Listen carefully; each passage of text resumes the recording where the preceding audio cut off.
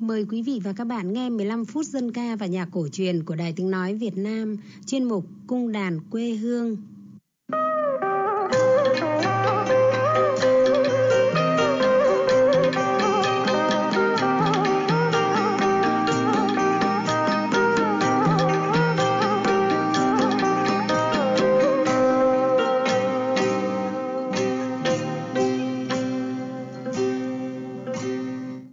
Quý vị và các bạn thân mến, chuyên mục cung đàn quê hương hôm nay chúng ta cùng thưởng thức bản nhạc Huyền thoại mẹ do nghệ sĩ Vân Ánh sáng tác và độc tấu đàn tranh cùng tốp nhạc.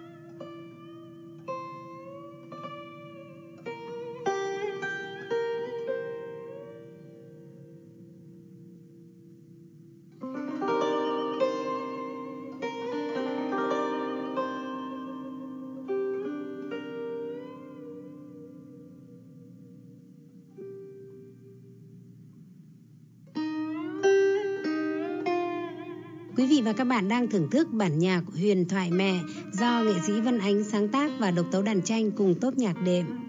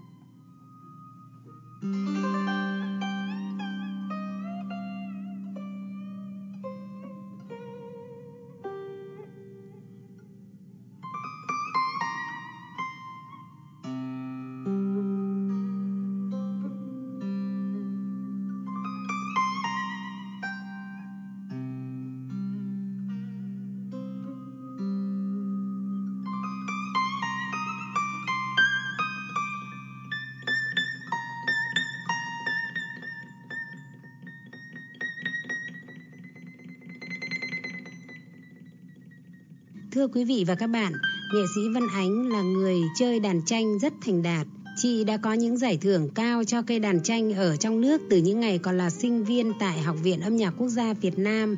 Tình yêu âm nhạc dân tộc, đặc biệt là cây đàn tranh luôn nồng ấm và rực cháy trong trái tim chị, nên khi đã định cư tại Mỹ, chị vẫn sáng tác và hoạt động âm nhạc dân tộc thường xuyên. Nghệ sĩ Vân Anh đã kết hợp với những nhóm nhạc nổi tiếng thế giới tại Mỹ để sáng tác và hòa tấu những bản nhạc độc đáo và hấp dẫn. Bản nhạc mà chúng tôi giới thiệu với quý vị và các bạn trong chuyên mục hôm nay là một trong những bản nhạc mà nghệ sĩ Vân Ánh sáng tác và đã được thu thanh trong album CD số 3 của chị. Sau đây, chúng ta cùng nghe những lời tâm sự về bản nhạc của nghệ sĩ Vân Ánh. Mình muốn chia sẻ với cả quý vị thính giả một bản nhạc The Legend tạm dịch là huyền thoại mẹ. Mình nghĩ là cái dịch này thì nó chữ cũng chưa chính xác đâu. Nhưng mà cái cảm hứng mà để cho vân ánh sáng tác ấy là vân ánh dựa trên cái sự tích là lạc long quân âu cơ tức là mẹ chăm trứng tại vì vân ánh nghĩ là tất cả những người con việt nam đều lớn lên và biết được câu chuyện chăm trứng của uh, mẹ âu cơ.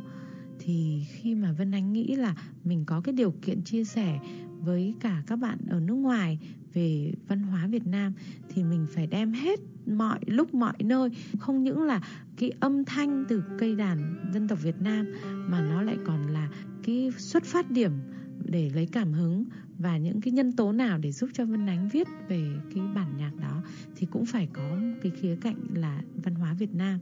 Nhưng mà cái câu chuyện Vân Ánh kể ra trong cái tác phẩm The Legend này lại là một cái mà bao phủ là là một người mẹ Việt Nam thì có một cái phần chia sẻ trong đó. Nhưng mà là một người mẹ ở nước nào đi cũng có lại, quay trở lại cũng tìm được một cái khía cạnh và một tiếng nói chung ở trong đó.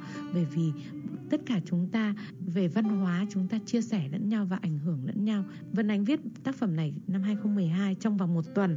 Thì trong đó là đặc trưng là cây đàn tranh. Và Vân Ánh cũng có hát một chút trong đó. Thì Vân Ánh đã đem cái tác phẩm này à, đến trong cái hội thảo lớn nhất về ở Mỹ gọi là TEDx Conference. Tức là cái hội thảo này là mỗi năm họ tổ chức một lần ở Mỹ hoặc là ở Anh. Thì họ mời những người mà có những cái ý nghĩ tiên phong trong tất cả mọi ngành nghề. Ví dụ như là trong cái trong cái à, TEDx conference mà San uh, San Joaquin mà Vân Ánh được mời nói về cái cái cái hướng đi trong âm nhạc ừ, à, làm sao làm mới và tạo cái hướng đi mới trong âm nhạc dân dân tộc ấy thì trong đó có những nhà khoa học họ đến nói là chúng tôi muốn sản xuất giày từ mạng nhện và sản xuất vải từ sữa. Đấy thì có những những cái cái, nghe thì người ta tưởng là có khi là người này khùng hay điên hay sao ấy. nhưng mà lại rất là khoa học và rất là rất là đi trước thời đại. Thì là những cái cái buổi mà hội thảo đó thì Vân Ánh cũng rất là vui là người Việt Nam đầu tiên em đến chia sẻ về lĩnh vực, về lĩnh vực văn hóa. Thì trong đó cây đàn tranh được đề cao. Vân Ánh dựa trên cái ờ, hơi trèo sa mạc bởi vì đấy là vùng đất miền Bắc Kinh Bắc là nơi mà Vân Ánh được sinh ra và lớn lên và nhưng mà cũng kết hợp vào những âm thanh mà có tạo như những tiếng nói dân ca Việt Nam gốc là dân tộc Việt Nam câu chuyện trong gốc của văn, văn hóa Việt Nam Vâng, những lời tâm sự vừa rồi của nghệ sĩ Vân Ánh, chúng ta phần nào thấy được những chăn trở, niềm say mê âm nhạc dân tộc cùng những kiến thức rất sâu rộng luôn hiển hiện trong tâm trí nghệ sĩ. Chính những điều đó đã làm nên sự thành công của nghệ sĩ Vân Ánh trên con đường hoạt động nghệ thuật và góp phần làm cho nghệ thuật âm nhạc dân tộc của nước ta cùng ngân vang trong mạch chảy của âm nhạc thế giới. Chúng ta cùng chúc cho chị tiếp tục thành công trên con đường nghệ thuật của mình. Sau đây, mời quý vị và các bạn cùng thưởng thức lại bản nhạc của huyền thoại mẹ một lần nữa.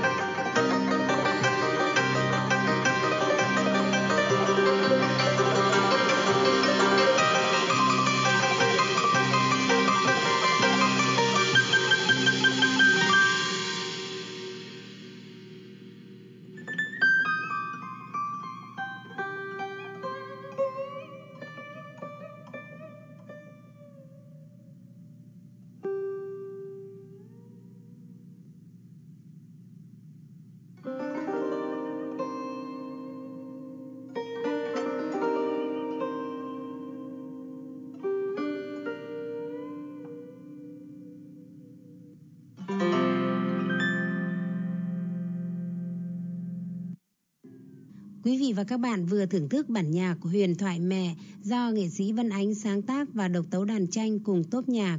Chuyên mục Cung đàn quê hương do biên tập viên Kim Anh biên soạn, băng âm thanh do nghệ sĩ Vân Ánh cung cấp. 15 phút dân ca và nhạc cổ truyền của Đài Tiếng Nói Việt Nam đến đây kết thúc. Hẹn gặp lại quý vị và các bạn ở chương trình sau. Thân ái, chào tạm biệt.